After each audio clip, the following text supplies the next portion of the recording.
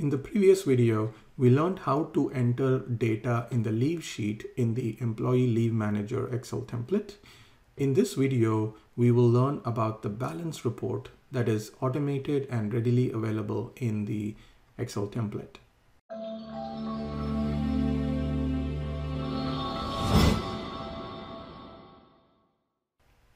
So now just to recap, in the previous video, we learned how to enter the data in the leave sheet and I went ahead and added a lot of lot more records. And now we have a little bit more data so that the balance reports and the other reports can be showing some uh, information.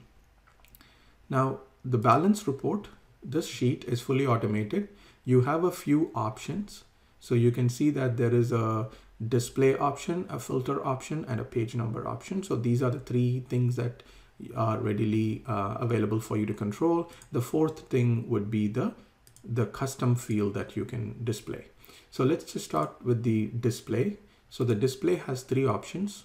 So if I choose entitled, then the values here will reflect how many days does each employee uh, is entitled to, is each employee entitled to in terms of leave. So in this case, for example, the employee totally is eligible for 20 days of leave and it also breaks it down by the different types of leave.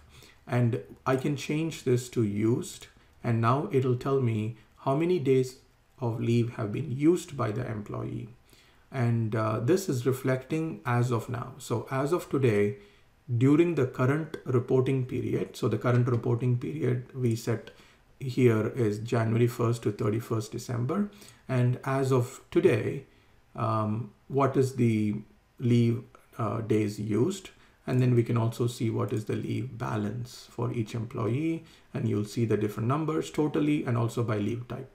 The red numbers uh, which are negative numbers. So when we talk about balance, you should not see anything which is negative, but um, these mean that the employees have taken more leave than what they were entitled to and so this is something that you may want to look into to understand why it has gone negative. The next option you have is filtering. So I can choose to filter, let's say for example, if I want to filter by location, I will choose location. And the location here, you can see the drop down. This drop down is all the fields that we entered in the employee sheet. So let me go back to the employee sheet. So you see all the uh, columns at the top those are the values that will automatically come in here for you to select. So if I choose location and I go into the next cell here and I'm going to type in, let's say for example, Lagos and hit enter. Now I will only see the employees from that specific location in my balance report.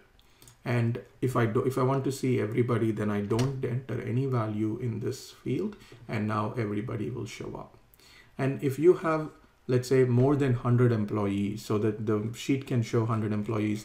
If you can, if you have more than 100 employees, you can just type in the second page, for example, page number two, and then now it will show the employee 101 to employee 200. The template currently can support up to 500 employees, so you can change the page number to see the next 100, uh, 100 at a time. The other um, control you have is the second column. So it doesn't have to be location. You can choose if I want to show department, I can show the department here. And if I want to only uh, filter by HR then I just do this and now only the employees in the HR department will show up in my report. So this is to help you filter the report to a specific group of employees and then so that you can use it for um, you know printing or exporting as PDF and share.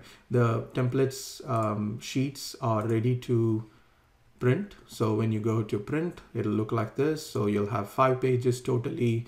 And if you have 100 employees, uh, but you can choose to print only two pages if you only have employees for two uh, sheets. And then you can print export as PDF by just going here to export as PDF and you can share the PDF. Um, and so it's very easy and readily available for printing and exporting.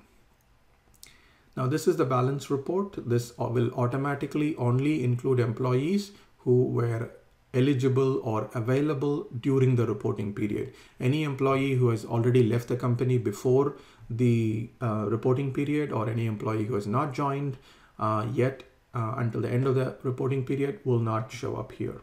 Now that covers the first report, the balance report. In the next video, we will learn about the daily report. So if you have any questions, please post them in the comments below and I will get back to you as soon as I can. Thank you very much for watching.